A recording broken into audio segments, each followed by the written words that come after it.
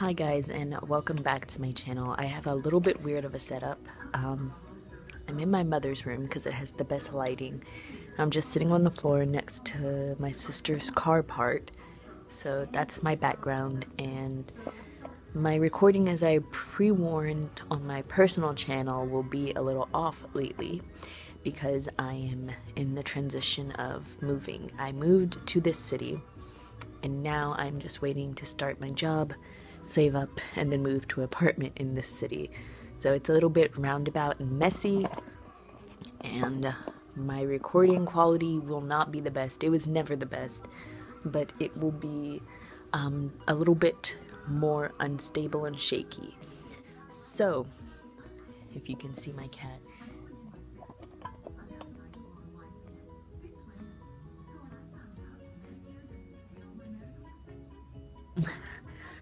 This week on Virtual Oasis is throwback and advice you'd give your younger self. And honestly, there's so much I would tell my younger me, so I decided to record outside to decrease the chance of people walking in on me, but I'm not quite sure it's going to work out well. This week on Virtual Oasis, our theme is throwback slash what advice you would give your younger self. And honestly, I think there's so much that younger me could have benefited from. I think um, younger me was more reckless, more impulsive, definitely more hot headed, and in general, I had a lot of unrealistic expectations on how my life was going to go. and I think because of that, I am suffering in consequence, as I rightfully should. Thought I heard something. We have some wild cats that hang out in my mom's backyard. Um, uh, I think some of the first things I would tell myself is not to be in a rush to grow up. I know this is cliche and a lot of people say it, but I think when you hit 18, there's this urgency to be independent and you have like set goals for your life of what you want to accomplish and they're not necessarily going to fall into place like that.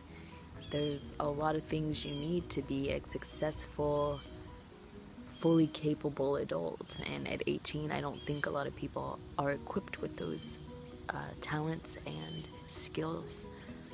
I wasn't and i was one of those people who thought i was going to move out and be on, totally on my own not fall on my face, and never look back. And I still have some of those qualities. Like, there's still this urgency to be able to go explore the world and not look back. But I think my approach on it, I just had to change the camera a little bit. But I think my approach on it now is a lot more slow paced and not gonna set me up for failure. Um, that, I bet it sounds like really loud out here with me and then it's just hot and I'm wearing a hoodie. I've been wearing this hoodie all the time as you guys can probably tell. So some other advice I would give myself or maybe yeah, I would give me is to maintain the friendships you want to maintain. Uh, I'm not a person who's good at keeping in touch. I don't message frequently, I don't message often, and I don't answer the phone.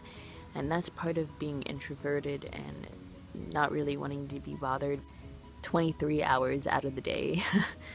um, and I think I have to change that because I just don't necessarily regret it because I know I would be friends still with the people who are meant to be in my life. I definitely believe in that those who are supposed to be in your life will stay in your life, and those who aren't will go, and that's how life is. And the people who go just aren't worth the effort it is to care and be sad about them leaving.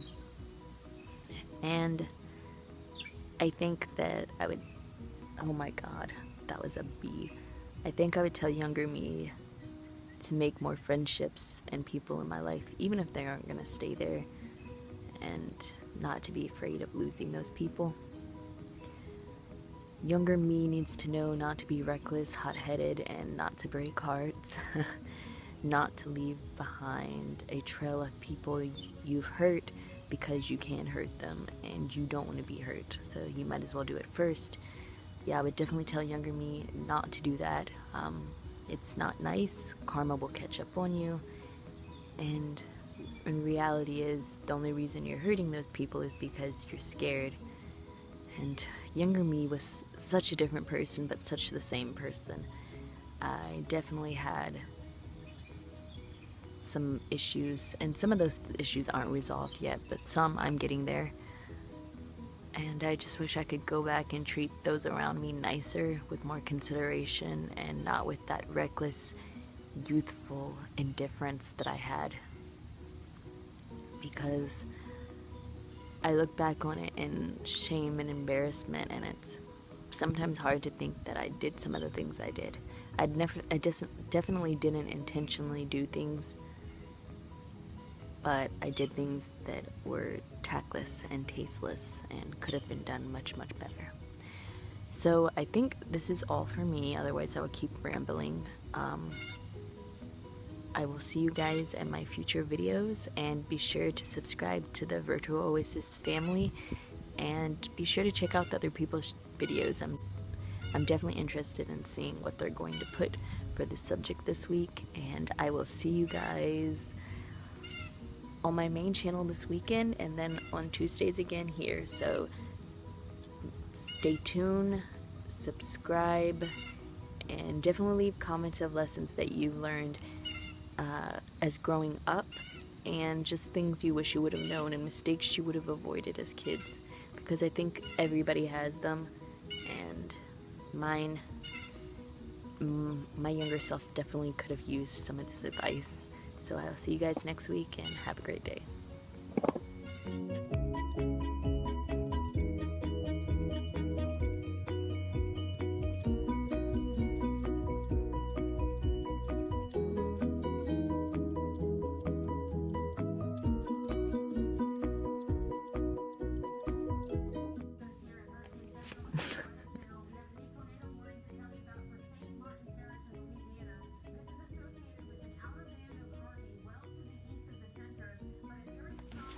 No.